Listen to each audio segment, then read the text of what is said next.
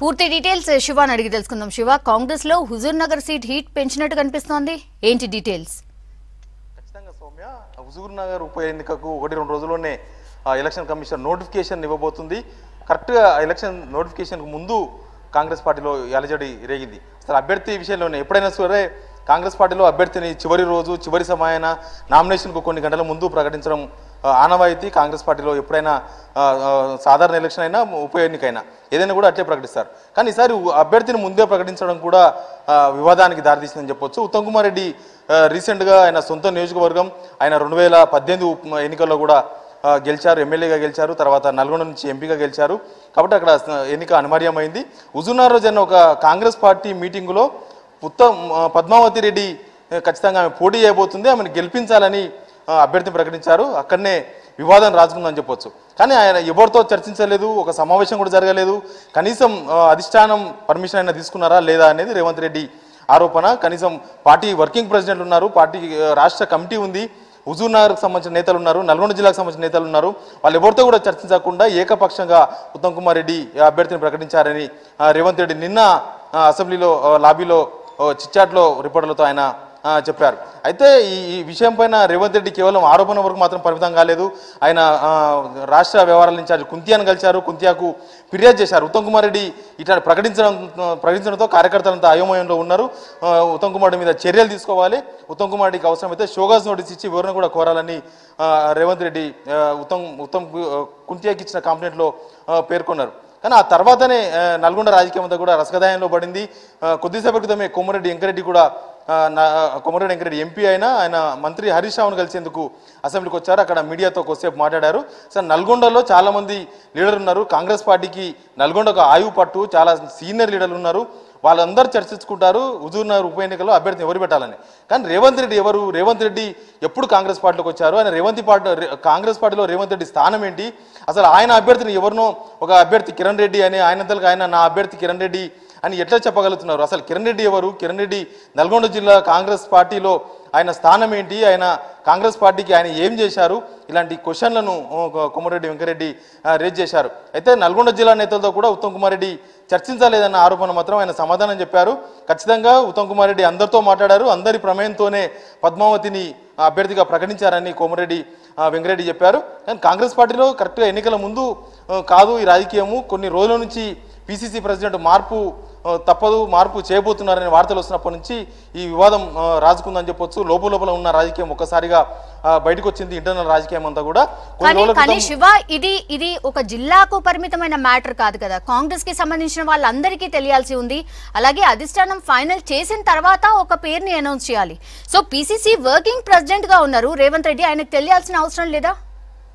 అంటే ఖచ్చితంగా party internal మీటింగ్లో ఏమైనా ఆ, ఆ, సమావేశాలు జరిగినప్పుడు సమావేశంలో ఖచ్చితంగా కూడా డిస్కషన్ చేసే అంశం. ఉప ఎన్నిక అభ్యర్థిని ఎవరిని పెట్టాలని. కానీ ఢిల్లీ లెవెల్లో ఏం చర్చ జరిగింది అనేది ఆ పీసీసీ ప్రెసిడెంట్ లెవెల్లోనే ఉండే అవకాశం ఉంది. పార్టీ ముఖ్య నేతలకు మాత్రమే తెలిసే అవకాశం ఉంది. ఢిల్లీలో ఎంపీగా ఉత్తమ్ కుమార్ గెలిచిన తర్వాత ఢిల్లీలో ఢిల్లీ నేతలతో బాగా తిరుగుతున్నారు. ఢిల్లీకి చాలాసార్లు పోతున్నారు. మొన్న పార్లమెంట్ జరిగినప్పుడు ఢిల్లీ నేతలతో చర్చలు జరిపారు. కాబట్టి ఆ తర్వాత ఏమైనా ఉప ఎన్నికకు పద్మావతి పేరును ఫైనల్ చేశారన్న విషయం కూడా తెలియాల్సింది. కాకపోతే దీని వెనుక కేవలం హుజూర్ నగర్ ఉప ఎన్నిక కాదు సౌమ్య. కాంగ్రెస్ పార్టీ ఇంటర్నల్ రాజకీయం చాలా ఉందని మాత్రం కనిపిస్తుంది. మెయిన్గా కొన్ని రోజుల క్రితం రేవంత్ రెడ్డి ఆయన ఫ్యామిలీతో కలిసి ఢిల్లీ వెళ్ళారు సోనియా గాంధీని కలిశారు. ఆ తర్వాత సోషల్ మీడియాలో కానీ మీడియాలో కూడా రేవంత్ రెడ్డి పిసిసి చీఫ్ కాబోతున్నారని ప్రచారం చేశారు. దాని తర్వాతనే కాంగ్రెస్ పార్టీలో రాజకీయం అంతా కూడా మారిందని చెప్పొచ్చు. నిన్న మొన్న యురేన్ యురేనియం సంబంధించిన ఉద్యమంలో కూడా రేవంత్ రెడ్డి అగ్రెసివ్గా ముందుకెళ్ళి దాన్ని తర్వాత పవన్ కళ్యాణ్ ఏర్పాటు చేసిన రౌండ్ టేబుల్ సమావేశానికి పవన్ కళ్యాణ్ ఆ సమావేశానికి ఉత్తమ్ కుమార్ వెళ్ళారు రేవంత్ రెడ్డి వెళ్ళారు కాంగ్రెస్ పార్టీకి సంబంధించిన ఇంకా ఒక సీనియర్ నేతలు వెళ్ళారు తర్వాత ఏసీసీ సెక్రటరీ సంపత్ కూడా ఆ సమావేశానికి హాజరయ్యారు. కానీ మొదటి నుంచి ఉద్యమం చేస్తున్నది నేను అని సంపత్ క్లైమ్ చేసుకున్నారు.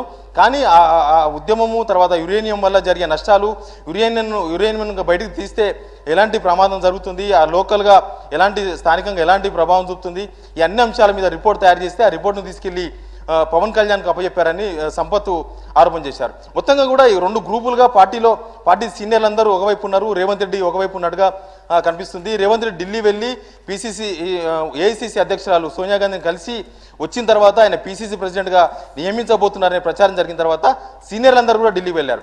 ఢిల్లీకి వెళ్ళి ఏసీసీ ముఖ్య నేతలను కలిశారు. రేవంత్ రెడ్డి రీసెంట్గానే కాంగ్రెస్ పార్టీలోకి వచ్చారు. ఆయన కాంగ్రెస్ పార్టీ సిద్ధాంతాలు తెలియదు కాంగ్రెస్ పార్టీలో రాజకీయం తెలియదు కాంగ్రెస్ పార్టీ వ్యవహారాన్ని కూడా రేవంత్ రెడ్డికి తెలియదు.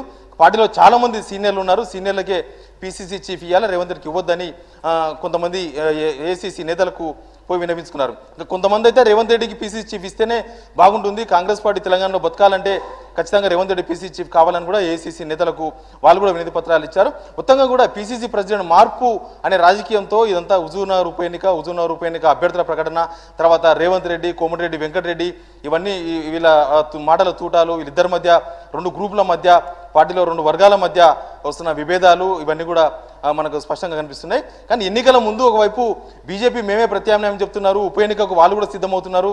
వాళ్ళు అగ్రెసివ్గా ముందుకు వెళ్తున్న టైంలో కాంగ్రెస్ పార్టీలో ఇంటర్నల్గా పార్టీ ముఖ్య నేతలే ఇట్లాంటి వివాదాలు ఇట్లాంటి ఒకరి కామెంట్లను ఒకరు ఖండించుకోవడము తర్వాత ఒక అభ్యర్థి విషయంలో భిన్నాభిప్రాయాలు రావడం ఇవన్నీ కూడా కాంగ్రెస్ పార్టీ క్యాడర్ను కూడా ఆందోళన గురి చేస్తుంది. వాళ్ళు కూడా ఇంత జరిగిన తర్వాత కాంగ్రెస్ పార్టీ ఎక్కడ ఉండవలసిన కాంగ్రెస్ పార్టీ ఈ స్టేజ్కి దిగజారిన తర్వాత కూడా ఇంకా ఇలాంటి గ్రూప్ రాజకీయాలు ఇలాంటి వివాదాలు ఎందుకని పార్టీ క్యాడర్ అయితే చాలా ఆవేదన వ్యక్తం చేస్తున్నారు.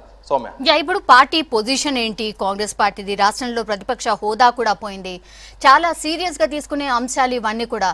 అయితే ఢిల్లీలో ఉన్నటువంటి అధిష్టానం ఎలా చూస్తోంది? ఈ సినారియో మొత్తాన్ని ఎవరినైనా పిలిపించుకొని మాట్లాడే ఛాన్సెస్ ఏమైనా కనిపిస్తున్నాయా? మెయిన్గా ఏఐసీసీలోనే చాలా డిస్టర్బెన్స్ కనిపిస్తుంది సౌమ్య. మొన్నటి వరకు ఏసీసీకి ప్రెసిడెంట్ లేరు. రాహుల్ గాంధీ నేను ప్రెసిడెంట్గా ఉండను అని ఆయన రాజీనామా చేసిన తర్వాత చాలా రోజుల వరకు ఏసీసీలో ఏం జరుగుతుందో రాష్ట్ర నేతలకు కానీ కింది స్థాయి ఉన్న క్యాడర్ కూడా ఎలాంటి అక్కడ ఏం జరుగుతుందో అర్థం కాని సిచ్యువేషన్ సోనియా గాంధీ ఏసీసీ ప్రెసిడెంట్గా బాధ్యతలు తీసుకున్న తర్వాత మళ్ళీ ఒకసారి కాంగ్రెస్ పార్టీ గతంలో గత వైభవాన్ని మళ్ళీ తెచ్చుకుంటుంది. ఖచ్చితంగా కాంగ్రెస్ పార్టీ బలోపేతం అవుతుందని అందరు ఆశి ఆశిస్తున్నారు. కానీ ఎన్నికలు వచ్చే టైంలో ఖచ్చితంగా కాంగ్రెస్ పార్టీలో ఈ గ్రూప్ గ్రూప్ రాజకీయాలు బయటికి రావడం అభ్యర్థి విషయంలో ఒక ఏకాభిప్రాయం లేకపోవడం అసలు ఢిల్లీలో ఏం జరుగుతుందో వీళ్ళకి లేకపోవడం అక్కడ ఇక్కడ జరుగుతున్న వ్యవహారాలను కూడా ఢిల్లీ కూడా సరిగా సమాచారం లేదు. ఎప్పటిలాగానే ఎవరు రిపోర్ట్లు వాళ్ళు చేస్తున్నారు. కాంగ్రెస్ సీనియర్లు ఒక రకమైన రిపోర్టు కాంగ్రెస్ పార్టీ ముఖ్య నేతలు ఒక రకమైన రిపోర్టు ఢిల్లీతో పరిచయం ఉన్న కాంగ్రెస్ పార్టీలో పెద్దగా యాక్టివ్ లేని నేతలు కూడా చాలా రిపోర్ట్లు అందిస్తుంటారు ఏసీసీకి వాళ్ళు కూడా ఒక రకమైన రికో- రిపోర్ట్లు అందజేస్తూ ఉన్నారు. ప్రస్తుతం ఉన్న సిచ్యువేషన్ మాత్రం కుంతియా ఇక్కడ ఉన్న సిచ్యువేషన్ను ఢిల్లీకి చేరవేస్తూ ఉన్నారు. కానీ ఢిల్లీలో ఎలాంటి నిర్ణయం తీసుకోలేదు. ఇప్పుడు తాజాగా ఇటు రేవంత్ రెడ్డి ఆయన అభ్యర్థిని ఆయన ప్రకటించడము ఓ మరోవైపు ఓ పిసిసి చీఫ్ హోదాలో ఉత్తమ్ కుమార్ రెడ్డి ఆయన ఒక అభ్యర్థిని ప్రకటించడము ఆ తర్వాత నల్గొండ జిల్లా రాజకీయానికి మాత్రమే పరిమితం ఇది. నల్గొండ జిల్లా నేతలు మాత్రమే అభ్యర్థిని ఫైనల్ చేయాల్సి ఉంటుంది. వేరే జిల్లా వాళ్ళు వచ్చి నల్గొండ జిల్లా రాజకీయాల్లో ఎందుకు ప్రమేయం పెట్టిన చూపాలి వాళ్ళు ఎందుకు ఏలు పెట్టాలి ఇలాంటి కామెంట్లు వస్తున్న తరంలో ఢిల్లీ వాళ్ళు ఏ విధంగా నిర్ణయం తీసుకుంటారో వాళ్ళు వీళ్ళందరినీ పిలిచి మాట్లాడతారా? లేదంటే ఢిల్లీ పిసిసి చీఫ్తో గతంలో ఏమైనా మాట్లాడి అభ్యర్థిని ఫైనల్ చేశారా? లేదంటే రేవంత్ రెడ్డి కూడా ఢిల్లీలో పార్టీ ముఖ్య నేతలను కలిశారు కాబట్టి ఆయన ఏమైనా హామీ తీసుకున్నారా? హుజూర్ నార్ విషయంలో ఉప ఎన్నిక అభ్యర్థిని తనకు సంబంధించిన వాళ్ళకి ఇవ్వాలని ఇవన్నీ కూడా తెలియాల్సింది ఢిల్లీకి మాత్రం కుంతియా ఆయన తెలంగాణ ఇన్ఛార్జిగా ఉన్నారు. ఆయన రిపోర్ట్ చేయబోతున్నారు. ఆయన రిపోర్ట్ చేసిన తర్వాత ఢిల్లీ వాళ్ళు ఎవరిని పిలిచి మాట్లాడతారో ఏ నిర్ణయం తీసుకుంటారో తెలవాల్సి ఉంది ఇంకో ఇష్యూ శివ ఇక్కడ కోమటిరెడ్డి బ్రదర్స్ కామెంట్స్ని ఎలా చూడాలి? ఒకరేమో ఉత్తమ్ని సపోర్ట్ చేస్తున్నారు ఒకరేమో వ్యతిరేకిస్తున్నారు. సో ఏంటి డబుల్ స్టాండ్ ఏంటి వీళ్ళిద్దరిది? అంటే కొమరెడ్డి బ్రదర్స్ ఇద్దరు కూడా డిఫరెంట్ రాజకీయాలే చేస్తున్నారు. ఉప పార్లమెంట్ ఎలక్షన్స్ ముందు ఇద్దరు కలిసి ప్రచారం చేశారు. ఇద్దరు భువనగిరి ఎంపీగా ఇంగిరెడ్డి పోటీ చేశారు కాబట్టి అప్పటికే ఎమ్మెల్యేగా రాజగోపాల్ రెడ్డి గెలిచారు. ఆయన ప్రచారం చేసి దగ్గరుండి వాళ్ళ అన్నను గెలిపించాలని క్యాడర్ను ప్రజలను తర్వాత ఇంటర్నల్గా జరిగే రాజకీయాలు వివిధ పార్టీ నేతలతో మాట్లాడడం కానీ తర్వాత వివిధ వర్గాల నేతలతో వివిధ సంఘాల నేతలతో కోఆర్డినేట్ కోఆర్డినేషన్లో కూడా కొమరెడ్డి రాజగోపాల్ రెడ్డి ప్రధానమైన పాత్ర పోషించారు. కానీ ఆ తర్వాత మళ్ళీ డిఫరెంట్ రాజకీయాలు ఒకవైపు రాజగోపాల్ రెడ్డి బీజేపీలోకి వెళ్తారని ప్రచారం జరిగినప్పుడు కూడా కొమరెడ్డి వెంకరెడ్డి నాకు సంబంధం లేదు దానికి ఆయన్నే సమాధానం చెప్పాలి నేను మాత్రం కాంగ్రెస్లోనే కొనసాగబోతున్నా అని ఆయన క్లారిటీ ఇచ్చారు. కానీ ఇప్పుడు కూడా ఇద్దరు ఇద్దరి మధ్య భేదాలు ఉన్నాయి మేము ఇద్దరం మాట్లాడుకుంటలేమని ఇద్దరు అన్నదమ్ములు చెప్తూ ఉన్నారు. ఎవరి రాజకీయం వాళ్ళు చేస్తున్నట్లుగానే బయటకైతే కనిపిస్తుంది. ఉత్తమ్ ఎప్పుడైతే లోక్సభ ఎలక్షన్స్లో ఉత్తమ్ కోమరెడ్డి వెంకటరెడ్డి మధ్య ఒక మళ్ళీ ఫ్రెండ్షిప్ ఏర్పడింది. అంతకుముందు ఉన్న ఫ్రెండ్షిప్ మధ్యలో డిస్టర్బెన్స్ అయింది. ఉత్తమ్ కుమార్ రెడ్డి పీసీ చీఫ్గా ఉన్నన్ని రోజులు అసలు తెలంగాణ గాంధీ భవన్లో అడుగు పెట్టానని కూడా కుమారెడ్డి బ్రదర్స్ అటు వెంకరెడ్డి కానీ రాజగోపాల్ రెడ్డి ఇద్దరు కూడా ప్రకటించారు. కానీ లోక్సభ ఎన్నికలప్పుడు మాత్రం ఉత్తమ్ కుమార్ రెడ్డికి కుమారెడ్డికి మధ్య ఒక ఫ్రెండ్షిప్ ఏర్పడింది. ఇద్దరు కలిసి ప్రచారం చేశారు ఇద్దరు గెలిచారు. ఆ తర్వాత పార్లమెంటుకు వెళ్తున్న క్రమంలో ఢిల్లీకి వెళ్ళినప్పుడు కానీ వచ్చినప్పుడు కానీ ఇద్దరు కలిసి వెళ్తున్నారు. పార్టీ ముఖ్య నేతను కలిసినప్పుడు కూడా ఇద్దరు కలిసి వెళ్తున్నారు. ముఖ్యంగా కోమరెడ్డి వెంకరెడ్డికి ఉత్తమ్ కుమార్ మధ్య సంబంధాలు ప్రస్తుతం మెరుగుపడినట్టుగా మనకు కనిపిస్తుంది కొమరెడ్డి వెంకరెడ్డి కొద్దిసేపటి క్రితం మీడియాతో మాట్లాడినప్పుడు కూడా నల్గొండ జిల్లా నేతలు అంటే జానారెడ్డి కావచ్చు ఉత్తమ్ కుమార్ రెడ్డి రాజగో కోమరెడ్డి వెంకరెడ్డి మేమందరం కలిసి నిర్ణయం తీసుకున్నాము మేము ఇప్పటికే అభ్యర్థిని ఫైనల్ చేశామని చెప్పారు. కానీ రాజగోపాల్ రెడ్డి మాత్రం డిఫరెంట్ వర్షన్ చెప్తూ ఉన్నారు. ఆయన వెంకరెడ్డి రాజకీయంతో మాకేం సంబంధం లేదు. నేను వ్యక్తిగతంగా నా ఎమ్మెల్యేగా నా నియోజకవర్గ ప్రజల కోసం మాత్రమే నేను మాట్లాడతా దానికోసమే రాజకీయం చేస్తా అని చెప్తున్నారు. ఆయన అటు బీజేపీ నేతలతో టచ్ ఉన్నట్టు ప్రచారం జరుగుతుంది. మరోవైపు నేను కాంగ్రెస్ ఎమ్మెల్యేగానే ఉంటా ఇంకో నాలుగు సంవత్సరాలు అని చెప్తున్నారు. మొత్తంగా ఇద్దరు అన్నదమ్ములు మాత్రం రాజకీయంగా ఎవరి దారి వాళ్ళు చూసుకుంటున్న ఎవరి దారిలో వాళ్ళు వెళ్తున్నట్టుగా కనిపిస్తుంది. ఎవరి మాటలు వాళ్ళు మాట్లాడుతున్నారు. లోపల వాళ్ళిద్దరి మధ్య ఇంటర్నల్గా అన్నదమ్ముల మధ్య మాటలు ఉన్నాయా? లేదా అనేది మాత్రం కాంగ్రెస్ పార్టీలో కూడా ఒక చర్చనీయాంశంగా మారింది. ఇద్దరు బహిరంగంగా మాత్రం ఇద్దరు విడివిడిగానే బహిరంగంగా ఇద్దరు ఇద్దరి మధ్య మాటలు లేవట్టుగానే బయటకు చెప్తూ ఉన్నారు. నల్గొండ జిల్లా నేతలు మాత్రం వెంకరెడ్డి కరెక్ట్ స్టాండ్లో ఉన్నారు. వెంకరెడ్డి పార్టీకి లాయల్గా ఉన్నారని నల్గొండ జిల్లాకు సంబంధించిన నేతలు చెప్తున్నారు. రాజగోపాల్ రెడ్డి మిగతా నల్గొండ జిల్లాకు సంబంధించిన కాంగ్రెస్ నేతలతో జానారెడ్డితో కావచ్చు ఉత్తమ్ కుమార్ రెడ్డితో కావచ్చు మిగతా నేతలతో ఎవరితో కూడా ఆయన టచ్లో లేడు.